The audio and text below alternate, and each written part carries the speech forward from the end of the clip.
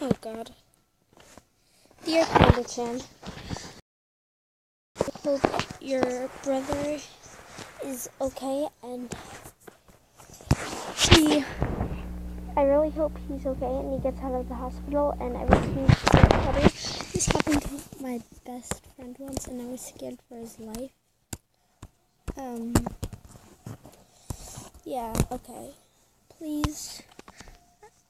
Please. I really hope he gets better. Um,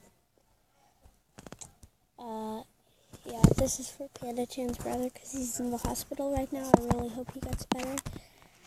Uh, yeah, I hope he gets better.